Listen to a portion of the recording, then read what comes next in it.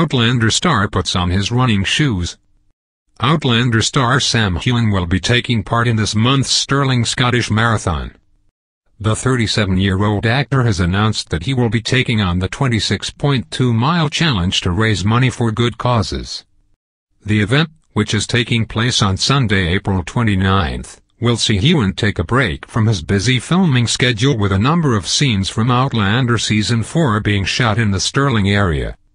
He said, It's close to where we're shooting at the moment, so I knew I'd be able to get there. We were shooting a lot around Stirling and the marathon runs around a lot of the locations we have shot at such as Doune Castle. We stay in Stirling quite a bit and there's some great locations.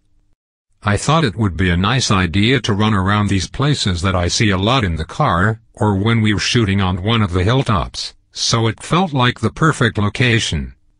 He added, it is a beautiful place which I will be running around, the marathon course has changed for the better so I'm really looking forward to it. Testicular Cancer Charity Cahonas Scotland will be among the charities benefiting through his marathon effort.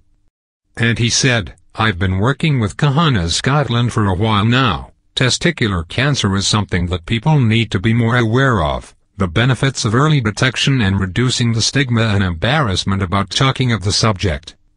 They're a fantastic small Scottish charity with big results and we wanted to make people aware of the great work they do spread the word and support the work they do.